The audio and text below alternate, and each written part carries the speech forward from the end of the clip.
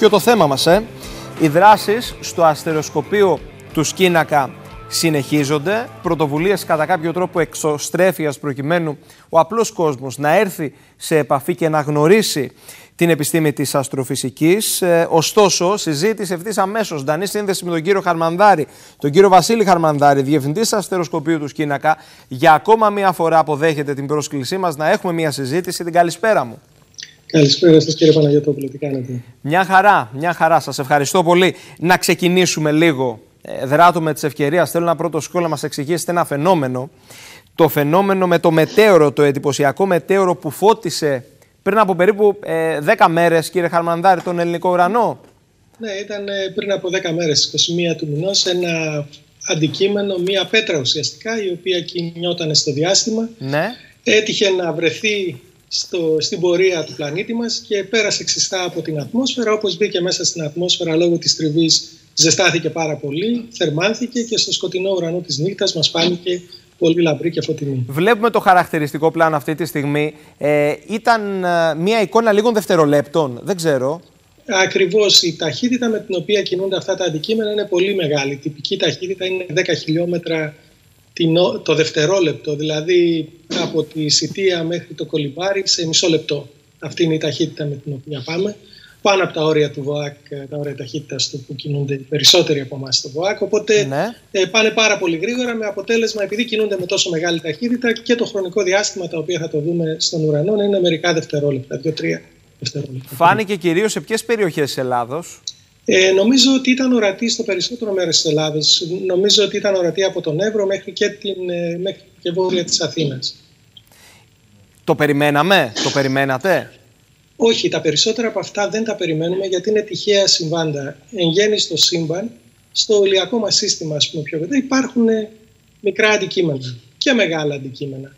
Καθημερινά στη γη πέφτουν τέτοια αντικείμενα, απλώς τα περισσότερα από αυτά είναι πολύ μικρά. Είμαστε, είμαι σίγουρος ότι και εσείς, αλλά και οι, ε, οι ακροατές σας, είμαι σίγουρος ότι έχουν δει το βράδυ Σωστά. τα λεγόμενα πεφταστέρια. Αυτά τα αντικείμενα είναι ουσιαστικά μικροί κόκκι σκόνης, Ναι. οι οποίοι πέφτουν μέσα στην ατμόσφαιρα της Γης, καθώς η Γη κινείται στο διάστημα, τα συναντά και καθώς θερμαίνονται, τα βλέπουμε και αυτά για ένα-δύο δευτερόλεπτα. Όμως είναι πολύ μικρά, έχουν μέγεθος μερικά χιλιοστά και υπάρχουν πολλά αντικείμενα τα οποία είναι μικρά και λίγα αντικείμενα που είναι μεγάλα. Δηλαδή αντικείμενα τα οποία έχουν μέγεθος του κόκκου σκόνης πέφτει ένα κάθε μερικά δευτερόλεπτα στη Γη. Ενώ αντικείμενα τα οποία έχουν μέγεθος περίπου Ναι. μια, ένα μέτρο πέφτουν περίπου μια φορά το χρόνο. Θέλω να σας ρωτήσω Τώρα, τώρα. ας- Ναι, ολοκληρώστε, ολοκληρώστε.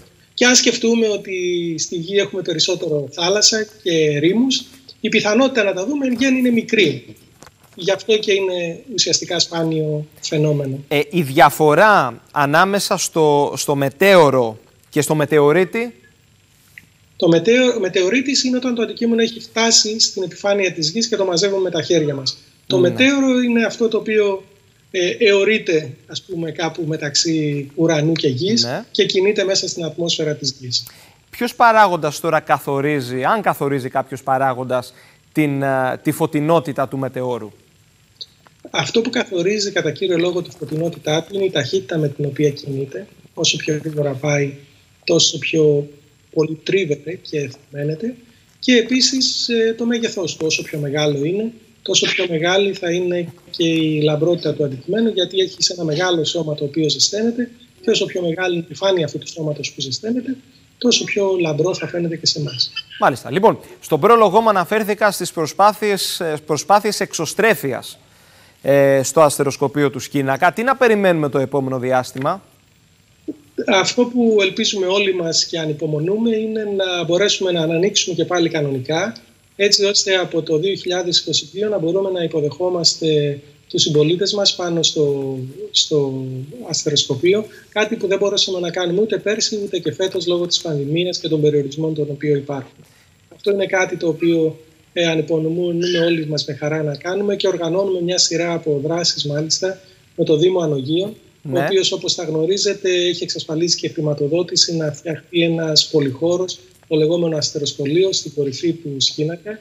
Ήταν μια, ένα, μια έμπνευση του Δημάρχου, του κυρίου Κεφαλογιάννη, εδώ και πολλά χρόνια και έγινε φέτος πραγματικότητα. Οπότε ελπίζουμε ότι σε δύο χρόνια από τώρα θα έχουμε έναν πολύ όμορφο χώρο Ξέρετε, η νέα γενιά διψά να έρθει σε επαφή μαζί σας.